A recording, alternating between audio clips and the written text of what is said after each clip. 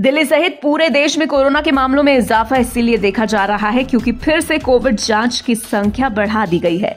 इसीलिए इस बात को लेकर पैनिक ना हो कि कोरोना तेज़ी से फैल रहा है। जब तक संक्रमित लोगों में बीमारी गंभीर नहीं देखी जाती, तब तक चिंता की कोई बात नहीं। अभी जो संक्रमण फैल रहा है, उसमें ओमिक्रॉन का नया सब variant J N point one देखा जा रहा है। सफदरगंज अस्पताल के डॉक्टर जुगल किशोर ने कहा कि ये ओमिक्रॉन का ही नया सब वेरिएंट है।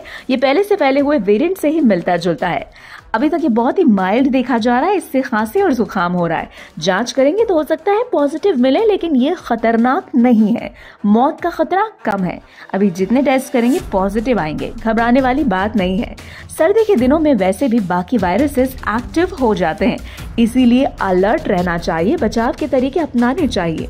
जब नया संक्रमण फैलता है तो हर किसी को संक्रमण होने का खतरा रहता है। ऐसे में जो लोग cancer, heart, liver fail, kidney fail जैसी गंभीर बीमारी की वजह से अस्पताल में एडमिट है, उन्हें खतरा ज़्यादा रहता है।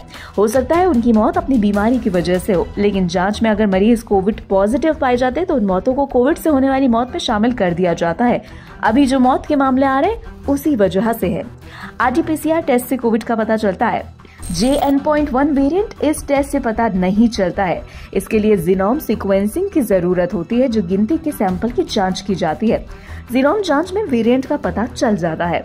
फ़िलहाल J N point one variant के बढ़ते केसेस पर आपका क्या कहना है, हमें कमेंट करके ज़रूर बताएँ। ऐसी ही और खबरों से हमेशा अपडेट रहने के लिए चैनल को सब्सक्राइब कर लीजिए और वीडियो पसंद आया हो तो लाइक और शेयर करना ना भूलें।